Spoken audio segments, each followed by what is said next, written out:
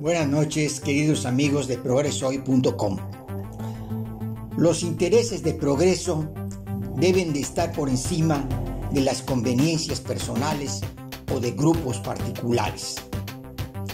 Hacemos un llamado a todos los ciudadanos que profieren insolencias en la campaña política que se inició el día de hoy, que se abstengan de hacerlo. No es propio ni digno tratándose primero que nada por las damas que son candidatas. No se vale, no se justifica. Como dice Voltaire, destacado filósofo francés, podré no estar de acuerdo con lo que dices, pero defenderé hasta la muerte tu derecho a decirlo. Pero el hecho de no estar de acuerdo con algún candidato o con alguna candidata no justifica de ninguna manera ofenderlos o insultarlos.